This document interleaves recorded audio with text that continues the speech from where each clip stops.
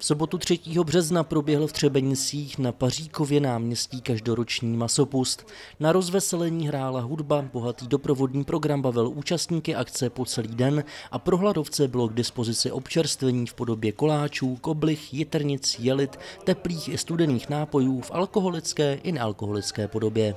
Dneska nám výjimečně povolení k masopustu povolil král, náš místní, Máme tady jako hosty šermíře z Libochovic a proběhl průvod s harmonikářem s Podřibským. Dále jsme, dále jsme tady připravili i hry pro děti, jak jste mohli vidět, interaktivní mezi šermířema.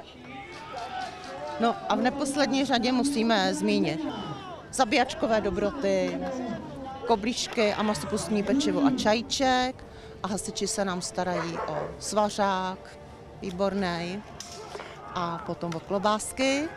A pro lidi tady po Šermířích ještě čeká jedna zábava při harmonice. Protože se blíží doba Velikonoc, další velkou třebenickou akcí bude v sobotu 24. března tradiční velikonoční jarmark.